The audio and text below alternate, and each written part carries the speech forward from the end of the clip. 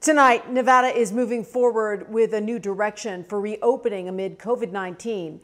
No new closures from the governor and no changes in enforcements. But there is one big change we're talking about no more phases for reopening. Thanks for joining us tonight. I'm Tricia Kean. And I'm Ty Quinones. Well, 13 Action News reporter Joe Bartels right now is live near the strip to explain this new strategy here, Joe.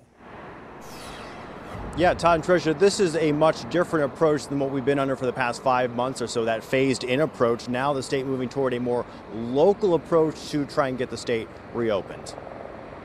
To put it bluntly, the time for education is over. The masks are supposed to be on, but the gloves are coming off for enforcement on businesses and people who don't follow the rules. Businesses, Nevadans, and visitors should all be familiar with the expectations of reduced indoor capacity required face coverings, and social distancing.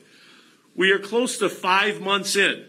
No more excuses. The governor says the phases are going away and will be replaced by a long term plan that focuses on flexibility, moving from industry wide shutdowns like gaming, casinos, bars, and restaurants to targeted and local county containment efforts, especially on individual businesses who allow face mask violators or do not follow social distancing guidelines all of it based on data. My goal is to soon look within these counties, counties to see if there are certain municipalities or certain zip codes we need to target more specifically with mitigation and or enforcement act measures. The governor says weighing the need to keep Nevadans healthy versus economic collapse and massive job losses is a tightrope act. He says the next weeks and months ahead depend on social distancing, hygiene, and people wearing face coverings. Those who want to keep our restaurants, gyms, and other activities open can do their part to make this happen.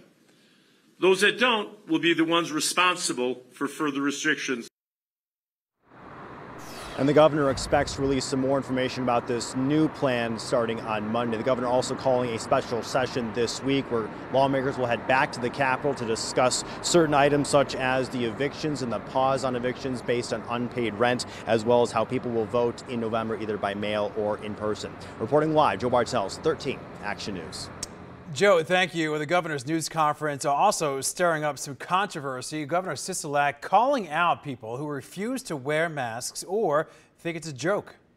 Some of the municipalities, and I'm going to be very candid, it's not a joke. This isn't a joke when somebody's wearing a doily on their face and says that that's a mask, or another uh, city council person says, well, I don't want them coming into my area to mom and pop businesses and closing anybody down. Well, they know what the rules are and they need to be treated the same way as everybody else does. The violators need to be punished, and those that are following the rules need to be rewarded and allowed to keep open. Well, that reference uh, certainly got the attention of Las Vegas uh, Councilwoman Michele Fiore. Now, she tweeted this picture out earlier this month, calling the face covering a mask, along with a caption with a sexual nature. Now, Fiore released a statement tonight, and we have her full comment on our website at ktnv.com. Well, also tonight, the city of Las Vegas is also responding to the governor's comments about enforcing safety and face mask protocols.